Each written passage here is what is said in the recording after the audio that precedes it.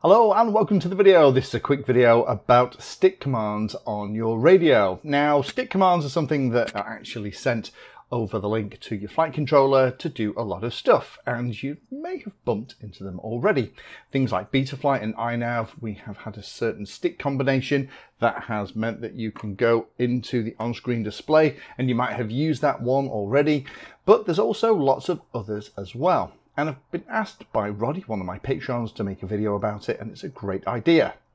Now, I have done a couple of videos before about some of the tools and ways that you can do it. A lot of the things that are around are designed for Mode 2 radios like this one here, where the throttle is on the left and the aileron and elevator here on the right hand side. So for those of you that are mode 1, 3 or 4, it can be a little bit confusing. And there's a couple of gotchas as well. So I thought I would go through all of them and hopefully you'll get all the information you need in one place. Now, the documentation around this stuff is in the iNav GitHub. Uh, it's not as clear as it could be. what it's basically saying is to detect the three stick positions on the radio, it has to be 1000 to 2000 with a center value of 1500 and there are all these different things that you can do. You can change the profiles the battery profiles calibrate the gyro accelerometer calibrate the mag or compass. That's incredibly useful if you haven't flown for a long time and you forgot to do it before you left the house trim the accelerometer left, right, forwards and backwards. That's something that we used to do back in the MultiWii days. This is one of those wonderful holdovers. So if you are hovering with your hands off the sticks and the radio middle positions roll 1500, but it still consistently drifts in one direction, you can use this to just trim it a little bit so that it stays still. You can also do things like save and load your missions, and you can also do things like save the settings after the end of a flight.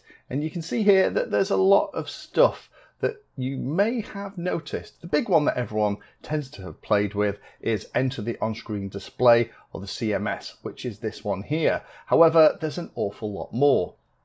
But for those of you that aren't doing mode 2 or mode 1, I've had a couple of questions about that. How the heck do you make that work? Well, the good news is that the developers have got you covered, specifically Darren or Mr. D Falling with Style in his page, and don't worry, I'm going to put links to all this stuff below. He has all of the sticks here that actually explain how you would do it. And the cool thing is, he also has the ability to change the different modes so you can see the mode that you would be using. And that is incredibly useful if you're not sure about which is which. You can use this as a bit of a cheat. The last one I'll talk about is this one here. This is a great little project. Again, I'm going to put this down below.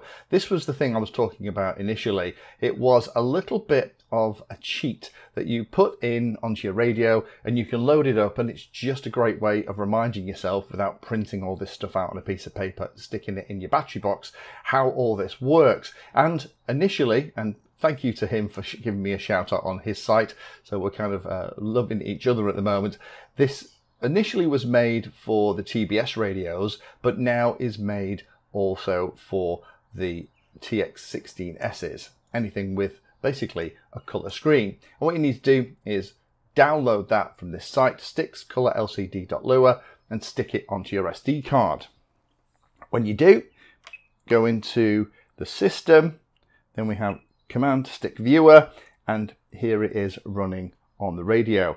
And you can see here all the stuff here. The really nice thing is it's got all the stuff for iNav but it's got the stuff for the HDZero because yep HDZero has stick commands as well. And then you've got all these others which is for Betaflight so this is a great thing. If you ever get to the field. I don't fly missions a lot in iNav. This is really handy to have this aid to remind me how to load and save missions because I don't auto load missions when I'm flying. This is a great way to figure it all out. So I would recommend if you haven't already and you want to use stick commands, have a go. There are only a couple of gotchas with this. The main one is if you have reduced the travel on any of the sticks on your radio so that they don't go down to a thousand and up to 2000 maybe you've used um, rates or dual rates or something like that then that's going to affect it because it won't see the stick reach the maximum travel. So if you're going to use stick commands, I would set up a mode on your radio so that you have full stick travel for all four channels, and that will mean that you can read it successfully. And of course, if you need to look at what the differences are between the Mode 2 stuff, which is what you tend to find online, and the other modes that are available, check out that website from Darren where he covers all that stuff and it makes it really easy.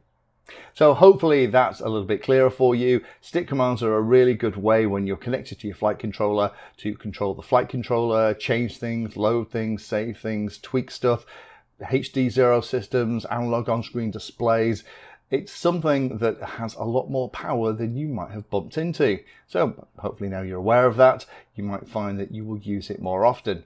For me, I only use it once in a while, and that's why having that little Lua script is very handy on the radio to remind me of what the stick positions need to be.